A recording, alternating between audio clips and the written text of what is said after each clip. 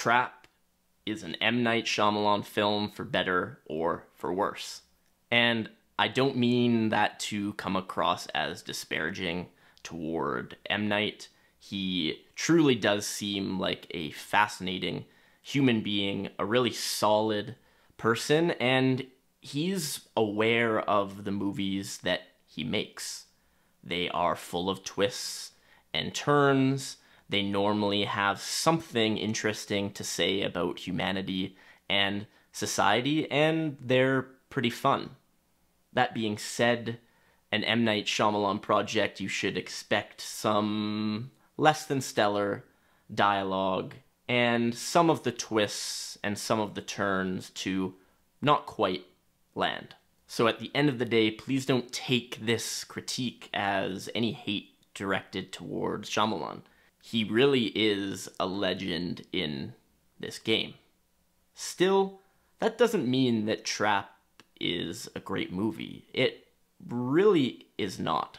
Trap stars Josh Hartnett alongside Ariel Donoghue and M. Night's daughter, Saleka Shyamalan. Of course, Hartnett is most well known for projects that he did in the early 2000s, like Black Hawk Down and 40 Days and 40 Nights, but he more recently had a very strong performance in Christopher Nolan's Oppenheimer.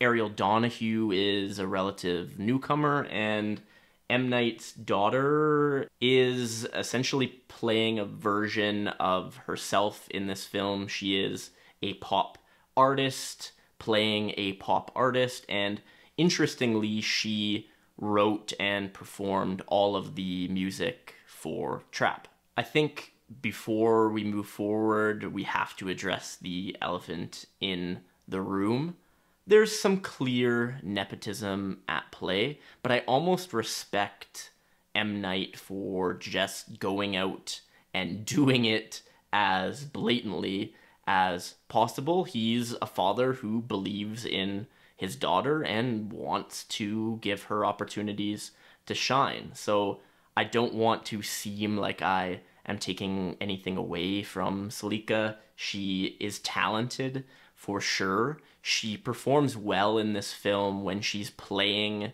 the pop star on stage and isn't quite as strong when she's forced to enter these more dramatic moments outside of the concert venue.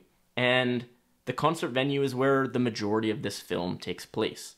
Essentially, it follows Josh Hartnett's character who is attending a concert from Lady Raven, played by Saleka Shyamalan, and it gives very much this Taylor Swift Eras Tour vibe, which did admittedly make me chuckle on a few occasions. Just the rabid fan base that we're seeing here in this film.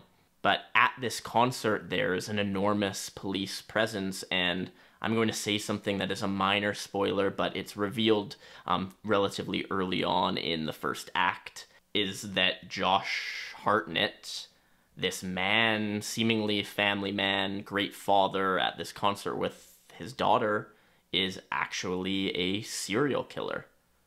I know that sounds like a major spoiler, but this is an M. Night Shyamalan film. This first twist is introduced early, and then there are twists and turns throughout the project. So I think that it's important to note in this review. Much of the film is Hartnett trying to escape from this quote unquote trap.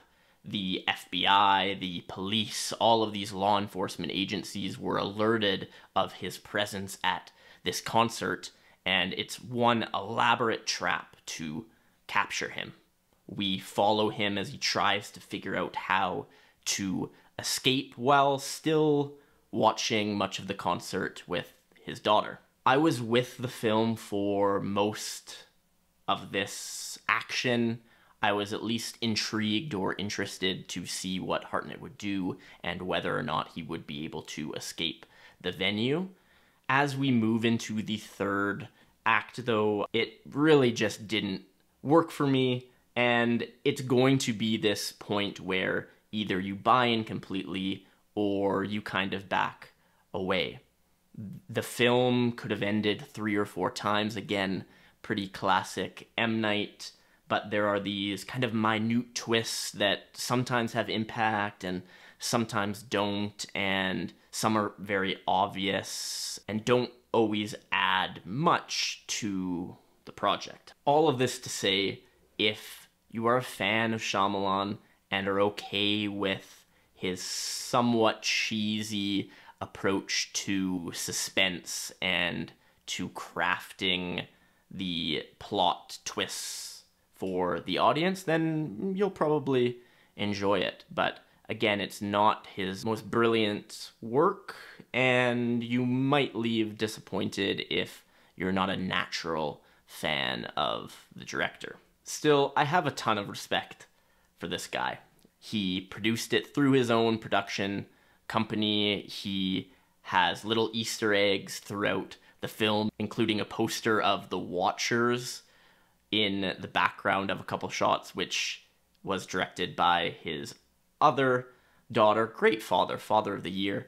Shyamalan also has a 10 out of 10 cameo. Again, this is typical of him. He likes to have these cameos in his projects. In this one, though, there is a pretty funny nod to the not so subtle nepotism that might be at play with one of the leads in this film being his own daughter. So, loved that moment.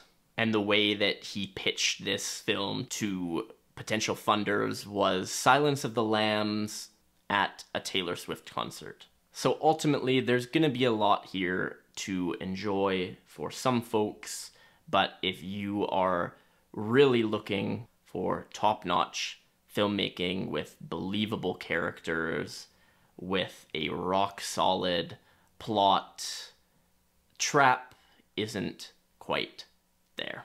Thanks for watching. Appreciate it. You're awesome. You're the best. Like, comment, subscribe. Those things are helpful. Appreciate it. Watch the next one when I put it out. Cheers.